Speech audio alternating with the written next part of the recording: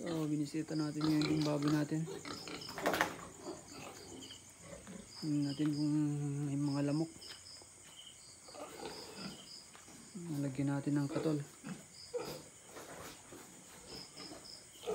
Kakapantal kasi pag madaming lamok. Yan dapat kahit baboy sila. Alagaan mo pa rin. Ah, inahin natin oh.